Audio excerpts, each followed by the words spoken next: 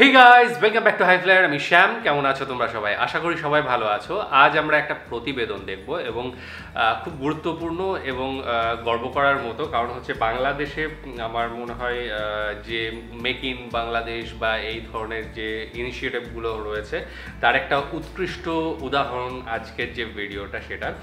আর সেই ভিডিওটার টাইটেল হচ্ছে দেশীয় প্রযুক্তিতে ডেমো ট্রেন।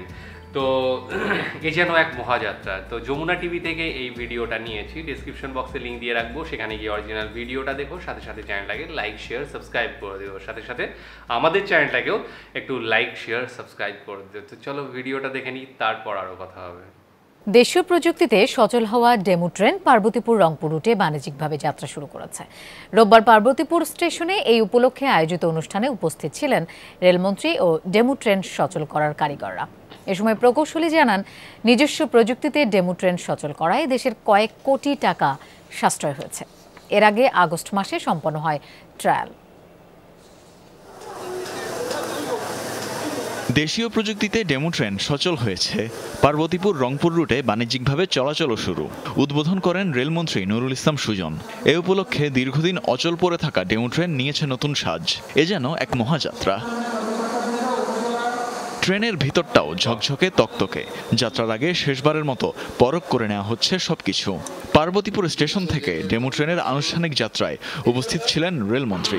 কথা বলেন ডেমো ট্রেন সচলে নেপথ্যের নায়কেরা।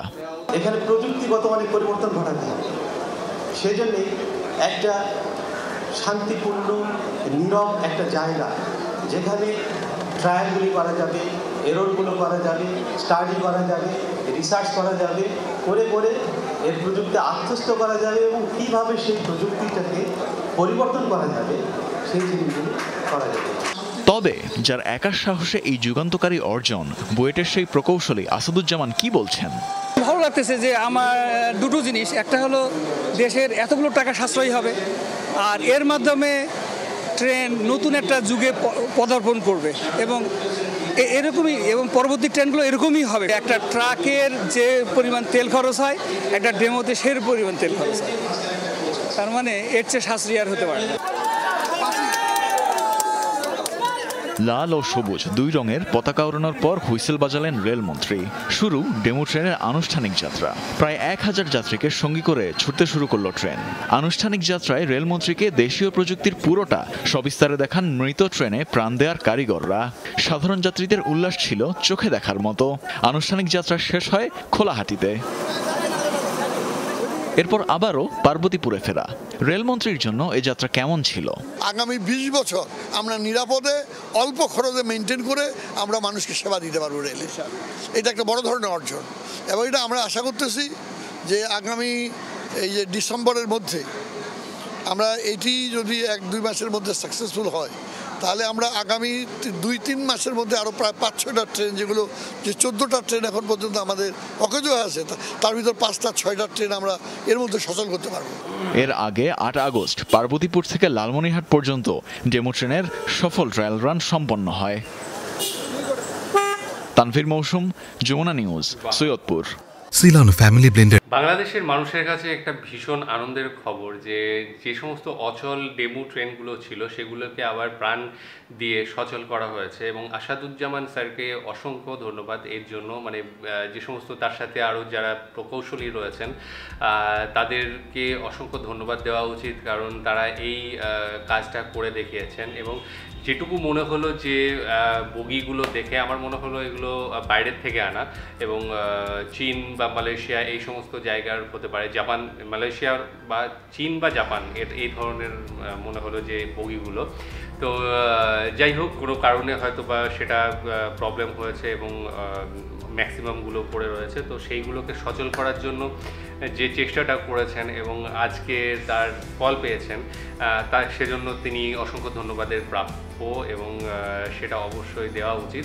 আর বাংলাদেশের সরকারকে দেখা উচিত যে এদেরকে আরও কীভাবে এগিয়ে নেওয়া যায় এবং তাদের মাধ্যমে দেশের কী কী উন্নতি করা যায়। তো আহ, ভীষণ ভালো লাগল একটা অকেজো ট্রেনকে, সেটাকে চালিত করে একটা জায়গায় নিয়ে যাওয়া এবং এই যে যে উন্নতিটা এখানে ঘটলো, যে অচল একটা গাড়ির মধ্যে সেটা প্রাণ দেওয়া হলো এবং সবচেয়ে বড় ব্যাপার- যেটা সেটা বলা হচ্ছে যে, একটা ট্রাকের যা তেল খরচ লাগে, সেই তেল খরচেই হাজারজন মানুষ এক জায়গা থেকে আরেক জায়গায় চলে যাবে। তো ভীষণ ভালো।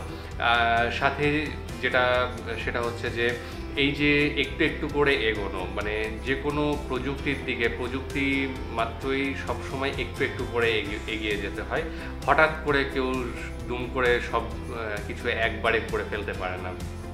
তো এই এগিয়ে যাওয়াটা কিন্তু আস্তে আস্তে শুরু হচ্ছে, আমার যেটা মনে হচ্ছে। এবং যে ম্যানুফ্যাকচারিংয়ের দিকটা, বড় বড় ইঞ্জিন বড় বড় যে সমস্ত যন্ত্রপাতি, সেটা কিন্তু বাংলাদেশ এইভাবে স্টার্ট করছে।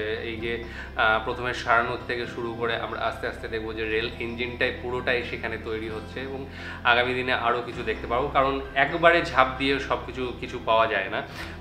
আমাদের এখানেও যেমন বিভিন্ন জিনিস রেল ইঞ্জিন হোক বা ইসরো বলা যাবে, সেখানে কিন্তু একটা সময় সাইকেল দিয়ে নিয়ে সাইকেলে বিভিন্ন অংশ মানে রকেটের বিভিন্ন অংশ নিয়ে যাওয়া হয়েছে এবং জোড়া দিয়ে তারপরে হয়েছে। এখন ইসরো কোন জায়গায় আছে এটা সারা বিশ্ব জানে। তো সেই জায়গা থেকে যে এক লাফে কোনোদিন যে একটা প্রযুক্তি হাসিল করা যায়, সেটা সম্ভব নয়। আস্তে আস্তে আস্তে সেটা উন্নতি করতে করতে করতে কিন্তু এগোতে হয় এবং বাংলাদেশের ক্ষেত্রেও সেম প্রসেসে এগোতে হবে এবং সেটা শুরু করতে হবে। এই জিনিসটা কিন্তু সবচেয়ে আগে দরকার। অনেকেই আছে যে বলে যে এত প্রযুক্তির পেছনে খরচ করে কি হবে? মানুষের পেটে দুটো ভাত ভাত নেই। অ্যাকচুয়ালি তারা এটাই বুঝতে চায় না যে, প্রযুক্তি উন্নত হলে ভাতের যে চাহিদাটা, আমি বলব চাহিদা না অ্যাকচুয়ালি হ্যাঁ চাহিদাটা, সেটা কিন্তু পূরণ করা সম্ভব। কারণ প্রযুক্তি উন্নত হলে কিন্তু কর্মসংস্থানও বাড়ে তার সাথে সাথে এবং প্রযুক্তি উন্নত হলে কিন্তু যে ফসল, তার, তারও কিন্তু একটা যে পরিমাণ, সেটাও কিন্তু বেড়ে যায়। আজ থেকে যদি আমরা ভাবি পঞ্চাশ বছর আগে যদিও আমরা জন্মাইনি, তবুও বলছি পঞ্চাশ বছর আগে যে একটা জমিতে যে যতটুকু ধান, গম বা পাট হতো, এখন কিন্তু সেই মানে জমিটাতে তার হয়তো বা দ্বিগুণ, আমার সঠিক জানা নেই, তবে হ্যাঁ অবশ্যই এটুকু বলতে পারি যে তার দ্বিগুণের, দ্বিগুণ না হলেও দ্বিগুণের কাছাকাছি ধান, চাল, পাট হচ্ছে, কারণ সেটা হচ্ছে প্রযুক্তির জন্য। আজকে সার এসেছে, আজকে বিষ, তেল এসেছে, যাই হোক, আর সাথে সাথে কখন বৃষ্টি হবে, না হবে, রোদ হবে কখন গরম পড়বে, কি আবহাওয়া থাকবে, সেটা কিন্তু আগে আগে জানতে পেরে যাচ্ছে মানে চাষিরা। সুতরাং সেই সুফলটা কিন্তু সেই প্রযুক্তির জন্যই পাওয়া যাচ্ছে। তো প্রযুক্তি উন্নতি ঘটাতেই হবে, মানুষকে বেঁচে থাকতে হলে মানুষকে আরও বেশি দিন মানে কন্টিনিউ করতে হলে, যাতে বাইরের থেকে কোনো ফোর্স এসে আমাদের মানে ধ্বংস করে না দেয়, সেই সমস্ত চিন্তা ভাবনাগুলো কিন্তু এখন থেকে স্টার্ট না করলে সেটা সম্ভব নয়। এক সময় গিয়ে দেখা যাবে যে এমন এক পরিস্থিতি এসে গিয়েছে যে আমাদের আর কিছু করার উপায় নেই, আমরা এতদিন কিছু করিনি, সুতরাং মরা ছাড়া উপায় নেই। তো সেই জায়গাটা যাতে না আসে, সেজন্য প্রযুক্তিকে এগিয়ে নিয়ে যেতে হবে এবং সেটা সব দেশের করা উচিত এবং বাংলাদেশ সেটা অলরেডি স্টার্ট করে দিয়েছে আমরা দেখছি এবং আগামী দিনের জন্য অসংখ্য অসংখ্য শুভেচ্ছা। বাংলাদেশ এগিয়ে যাক এবং সাথে সাথে তার আশেপাশে যারা যে সমস্ত দেশগুলো রয়েছে, সেগুলো এগিয়ে যাক আশা করি তোমাদের ভিডিও, ভিডিওটা ভালো লেগেছে এবং ভালো লাগলে অবশ্যই তো কমেন্ট সেকশানে তোমাদের মতামত জানাবে। ডিসক্রিপশন বক্সে লিঙ্ক দিয়ে রাখব, সেখানে গিয়ে অরিজিনাল ভিডিওটা দেখো, সাথে সাথে চ্যানেলটাকে লাইক শেয়ার সাবস্ক্রাইব করে দিও। আজকের মতো এখানেই শেষ করছি। আগামী দিন আবার আসব অন্য কোনো ভিডিও নিয়ে। ততক্ষণের জন্য স্টেটিউন